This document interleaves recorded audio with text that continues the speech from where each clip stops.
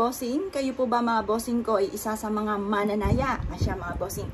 Ako po may tuturo sa inyo na isa sa mga pamamaraan para kayo ay makatama. Pero, huwag niyong kakaririn mga bossing kasi napasin ko, nakataya nga pala ako, hanggang hindi ko pa natitignan, bigla akong naalala mga bossing kailangan hindi nyo, huwag kayong atat. Yung ba tipo pag atat-atat ka sa isang bagay, lalo na tungkol sa usapin ng pera, lalong hindi ka makatama. Kaya kailangan huwag kang atat.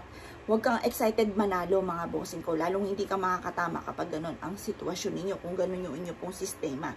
Ngayon po mga bossing, ganito po ang gagawin po ninyo. Sa umaga, bawa, bigla ka na naginip mga bossing ko, na ikaw po ay, uh, halimbawa, sa usapin ng, kung ano may panaginip nyo, lalo na numero, yung mga ganon. Kasi ako dati, na naginip ako, ang panaginip ko, ano, 1-11. Yun ang panaginip ko. Tinayaan ko rin po yun.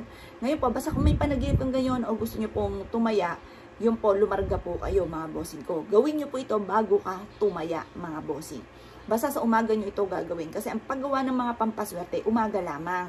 Tapos sa mga bad spirit sa hapon, yung mga alas 5 ng hapon, mag-i-insenso at kamangyan ka, pwede po yan. At saka gumagamit ng kaliwa hapon. Kasi yan, taglubog ang sinag ng araw, malas po yun.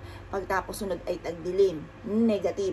Dito tayo sa mga pampaswerte, kaya umaga lamang po yan mga bossing. Ngayon pa mga bossing, ang gawin nyo po ay ganito, bago ka tumaya. Pagkatapos yung maligo, mainam pa yung, pal, yung pampaligo ninyo, patakan nyo ng kaunting asin. Yung timba. Or kaya may bathtub ka, lagyan ng kaunting asin. Tapos mas maganda pang lagyan ng kapranggot na, halimbawa lavender oil, di ba? Mga mayayaman na yan mga bossing ko. Tapos, pwede rin po yung petals na kulay pula, pampalakas ng karisma. Pwede nyo rin nang ilagay sa timban tubig. Kasi ako, timbalin din po ako mga bossing. Ngayon pa mga bossing, ay dito na. Pagtapos na po kayo maligo, okay na. Mas mainam mag-apply ka ng ganito, ipahid nyo sa inyo pong kamay. Pagtapos yung maligo, kahit nasa CR ka, para ang bagsak niyan, hindi sasahig sa lababo. Tapos linisan nyo na yung lababo po ninyo. Tapos paulit-ulitin mo sabihin na, mananalo ko ng jackpot uh, sa numero, banggitin nyo yung numero ng inyo pong tinatayaan. Ito, sample lang, pero kung gusto nyo tayaan, bakit hindi? Hindi naman natin alam ko na talaga ang mananalo mga bossing ko. Ititayaan nyo, malay nyo, ito yung aking nabanggit mga bossing ko, yung salitain ay magaganap. Panalain ko na ito ay manalo ng jackpot mga bossing. Ngayon pa mga bossing, halimbawa, Gis 28. O, di dalawa na yun. Tapos, 19. Pagkatapos, 4-3. Pagkatapos, 6. Ayun. Ngayon po, bahala na kayo kung gusto nyo po yung tayaan. Ngayon po mga bossing, uh, i-wish nyo na dito sa numerong ito ay mananalo ako ng jackpot. Ngayon po mga bossing ko, paulit-ulitin nyo. Positive ka lang. Pagtapos nakakatumaya. Ugasan nyo yung kamay muna ninyo ha. Pero habang wini-wish nyo, paulit-ulit nyo inahaplo sa inyo pong kamay. Kasi minsan yung kamay natin, kung ano na nahawakan nito na may kumapit ng negatibo.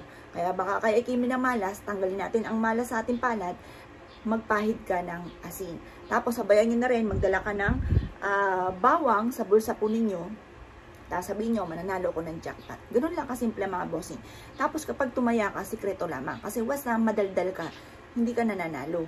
Pero was na hindi ka madaldal, tapos positive ka, mananalo ka mga bossing. Huwag ka lang maiinip mga bossing. Kung isa ka sa mga mahilig sa mga pampaswerte, naniniwala sa mga gatong pamamaraan, huwag ka na magpatumpik-tumpik pa. Subukan nyo po ito. Proven po ito na napakaswerte. Kaya kung kayo pinaniwala mga bossing, ay siya mga bossing, good luck po sa po lahat.